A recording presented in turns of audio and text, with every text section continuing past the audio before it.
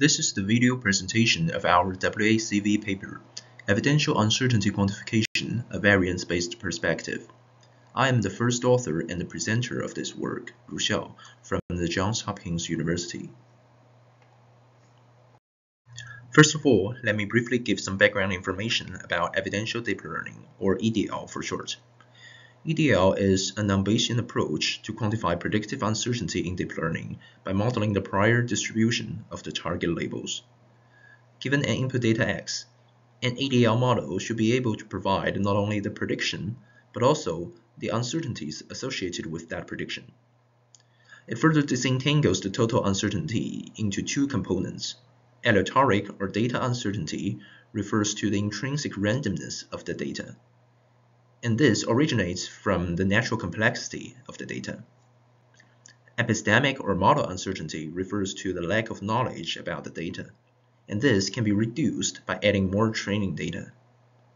Since EDL quantifies uncertainties directly with a single forward propagation, it is much more convenient and efficient than other uncertainty quantification methods, such as Bayesian deep learning.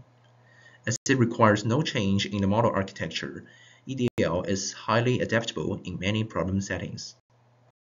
Here are some fundamental assumptions of EDL.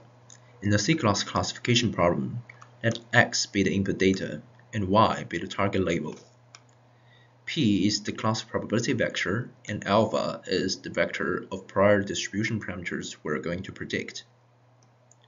EDL assumes that Y follows a multinomial distribution with one trial and probabilities P while P is also a random vector following a Dirichlet distribution with parameters alpha. EDL predicts alpha based on X. So given the input X, the neural network generates Z, a vector of logits.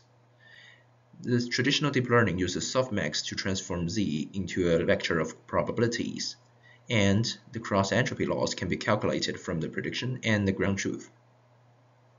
Evidential deep learning uses a different activation function, such as the exponential function, and transforms z into alpha, a vector of c positive numbers. And the loss can just be calculated from alpha and y as the negative log likelihood. With the prior distribution, we can derive the evidential uncertainties of any given input data. The traditional method quantifies total uncertainty as the predictive entropy and decomposes it into aleatoric and epistemic components based on an information theory approach. However, this method can only derive the overall uncertainty associated with the sample, namely how uncertain a given sample is. It cannot tell how uncertain each class is. For example, in this image, which contains a monitor, a keyboard, and a mouse, the model is probably more uncertain about these classes than other irrelevant ones like calculator and flowers. So these contribute more to the total uncertainty while these classes contribute less. The traditional entropy-based approach failed to capture this class-level information. So here, we propose an alternative approach to quantify evidential uncertainties. We derive the uncertainty of each class as the variance of that particular class variable which can just be retrieved from the diagonal of the covariance matrix. So we first compute the covariance matrix of Y, which is a C by C matrix where C is the number of classes. We then decompose this covariance matrix into aleatoric and epistemic covariance by the law of total covariance. So now the class level uncertainties can just be obtained from the diagonal elements of the corresponding covariance matrix and sample level uncertainties can be derived by aggregating all the class level uncertainties. Furthermore, the correlation matrix can also be obtained from the covariance matrix, providing the correlation information of each pair of classes. While the traditional entropy-based approach is only able to quantify sample-level uncertainties, the variance-based approach can further provide class-level uncertainties as well as the between-class correlations we use an enhanced version of an EDL-based active domain adaptation framework to evaluate the effectiveness of the uncertainty quantification. In this algorithm, the model is trained by both EDL loss and the uncertainties of the target dataset in order to reduce the domain gap between the source and the target. we use concurrent certainty and uncertainty sampling to improve active learning performance. So in the first round of each active sampling stage, we sort the data by their epistemic uncertainty and pick the most certain ones and the uncertain ones. The certain samples are just added to the labeled target training dataset with their predictions as pseudo labels, because for the certain samples, their predictions are most likely to be correct. For the uncertain ones, we just pass them to the second round and further sort these samples using their aleatoric uncertainty. And we finally pick the most aleatorically uncertain ones, pass them to the oracle, and obtain their labels. And then we just add them to the labeled target dataset. We apply both entropy-based and variance-based uncertainty quantification approaches in this active domain adaptation framework and measure their performance on two datasets, Office Home and VisDA 2017. For the classification accuracy, we compare the results without certainty sampling and with certainty sampling. In most cases, the entropy-based approach and variance-based approach achieve similar accuracy. We also use the evidential uncertainties to detect misclassification and use the misclassification detection AUC score to evaluate the quality of this uncertainty quantification. It turns out that on aleatoric uncertainty and epistemic uncertainty, both two approaches also have similar performance. Beyond sample level uncertainties that both approaches are able to derive, our variance-based approach further provides class-level uncertainties. Here are two example images from the Office Home dataset. For the first image, the ground truth label is bucket, but it kind of looks like a trash can as well.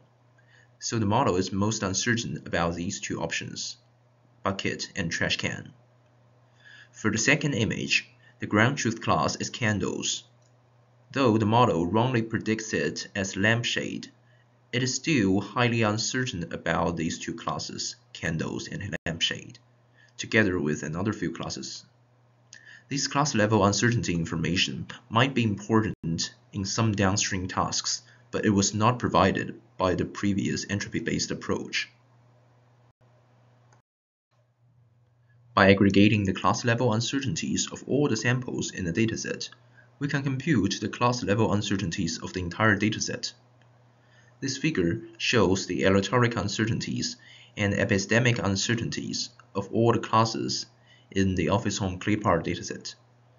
This information can be helpful for a better understanding of the data we have and how well the model learns from them.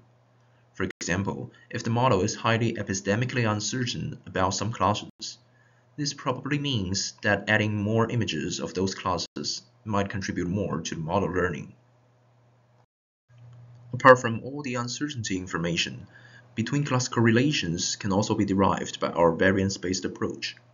The correlations can sometimes be quite informative. Let's say, if the model is frequently making mistakes on some class in the dataset, is it because that class contains diverse images so that it can hardly be identified? Or it's because there's another existing class with highly similar images so that the model finds it difficult to distinguish between that pair of classes. The class correlations to some extent just give insight into this sort of analysis. Here, we calculate the correlation between each pair of classes in the Office Home CLIPART dataset and select the three most correlated pairs. It turns out that the class correlation is a good indicator of similarity from the model's perspective. For example, for this particular dataset, the model finds it hard to distinguish between computer and monitor, bucket and trash can, desk lamp and lampshade. As a conclusion, in this paper, we introduced the variance-based approach in evidential deep learning for classification uncertainty quantification. Compared to the traditional entropy-based approach, our method can not only provide sample-level evidential uncertainties, but also class-level uncertainties, as well as the between-class correlations. These additional benefits might provide useful information for many downstream applications. This is the end of the presentation. Thank you for watching.